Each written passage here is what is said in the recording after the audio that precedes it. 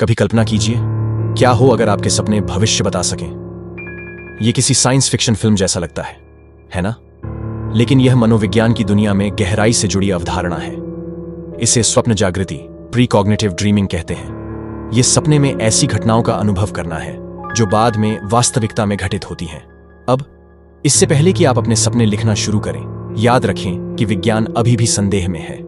लेकिन क्या यह आकर्षक नहीं होगा, अगर हम इस रहस्य को सुलझा सकें? शायद एक दिन हम इस सपने जैसी फेली को सुलझाने की कुंजी प्राप्त कर लेंगे। तब तक सपने देखते रहें और कौन जाने आप कल की भविष्यवाणी कर सकते हैं।